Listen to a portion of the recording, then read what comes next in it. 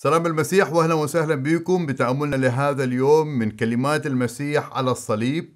نقرأ من إنجيل يوحنا اصحاح 19 والأعداد 28 و 29 بعد هذا رأى يسوع أن كل شيء قد كمل فلكي يتم الكتاب قال أنا عطشان وكان إناء موضوع مملوء خلا فبلؤوا اسفنجة من الخل ووضعوها على زوفة وقدموها إلى فمه. أمر عجيب جدا. خالق السماء والأرض وكل المياه بيصرخ أنا عطشان مكتوب بالأناجيل أجاب يسوع وقال لها كل من يشرب من هذا الماء يعطش أيضا. ولكن من يشرب من الماء الذي أعطيه أنا فلن يعطش إلى الأبد. بل الماء الذي أعطيه يصير فيه ينبوع ماء ينبع إلى الحياة الأبدية. بإنجيل يوحنا. بإنجيل يوحنا صاح السابع بيتكلم وقف يسوع ونادى قائلا إن عطش أحد فليقبل إلي ويشرب. من آمن بي كما قال الكتاب تجري من بطنه أنهار ماء حي. صاحب الماء يصرخ إنه عطشان. وهذا دليل على ناسوته اللي كان حاملة. والماء اللي كان يريد يعطيه للناس دلالة على لاهوته. ليش المسيح صرخ من هذا النوع وصرح بهالطريقة؟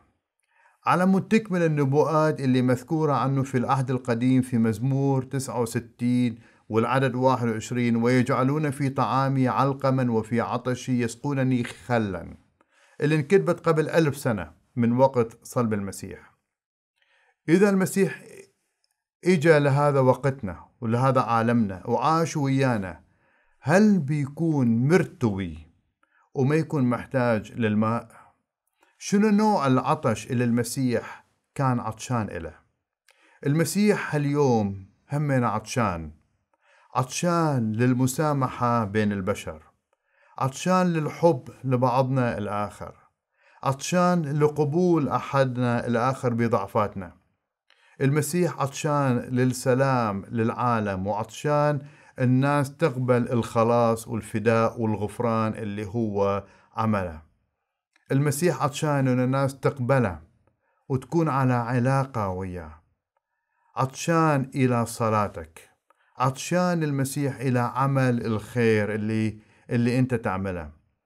المسيح عطشان إلى افتقادك اليتامى والأرامل وإلى آخره وإلى آخره. عطش المسيح ما راح يرتوي بالمي. لكن يرتوي بتوبتك بيرتوي بقبولك بيرتوي بالخلاص وقبولك للخلاص والحياة الأبدية اللي هو دا يقدمها إلك. اروي عطش المسيح اليوم وتوجه ملك وسيد على حياتك وما راح تندم. والرب يباركك ويكون معك وكل عام وأنت بألف خير. thank you